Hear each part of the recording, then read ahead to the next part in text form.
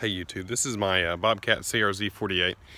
This is the, obviously, hence the name, it's a 48 inch cut Bobcat.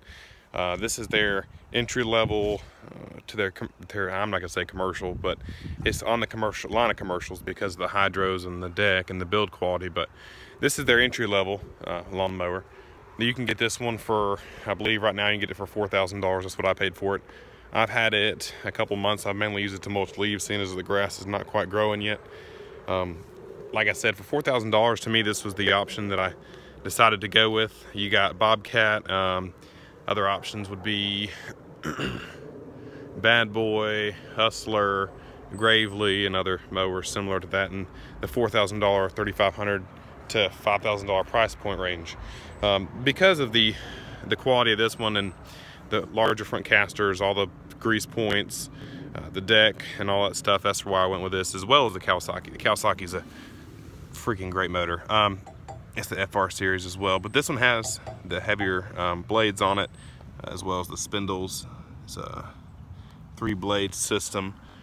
Um, the thing I like about the chute here is that you can just raise it and lower it with the push and you don't have to use a bungee cord to keep it up. You can just slap it down whenever you're done, you know, throwing grass out further. Uh, let's see what else here. It's easy maintenance. Uh, it's got a higher, uh, it's got a better built deck lift system.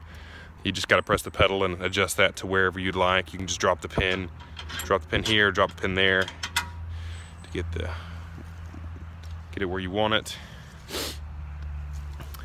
Uh, I believe that's seven gauge steel deck. Um, it's very well built.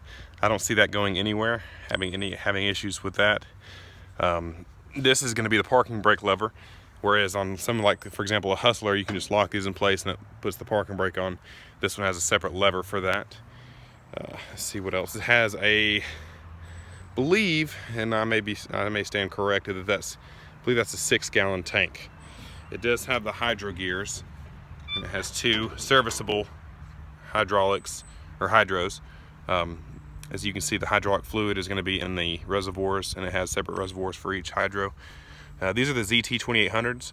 Um, easy to access all that stuff when it comes to the belts and changing out the hydro fluids, changing out the pulley if you need to. We'll go over the engine. It is an FR651V. It's rated roughly at 22 horsepower. I think it's like a 725 cc motor. But it's pretty easy, easy maintenance. Flip that up to change the air filter, which I need to get a pre-filter for it. Um, as well as the engine oil you can easily service by dropping this tube down and it'll just drain the fluid. You're gonna pop the cap off of it. Easy fill right there. And the oil filter is gonna be further down in there. Uh, it's got the larger rear wheels as well, so it's got a little bit better traction. Um, this is gonna be my mulch plate, but I took it off because I don't think it's that great. Uh, I don't think I have the baffles in there that I need to mulch properly. It does have an hour meter, it's going to be the throttle is going to be separate than the choke, so you can lift the choke up and adjust this how you will. Um, I'm not sure the name of the clutch that they use on these, but it is a better. It is going to be a better clutch system for the uh, to engage the dry or the deck. But that's just a, that's about it. It's got armrest as well as a pretty freaking comfortable seat. But I, right this second, I'm in love with the mower. Um, I think it's well worth four thousand dollars.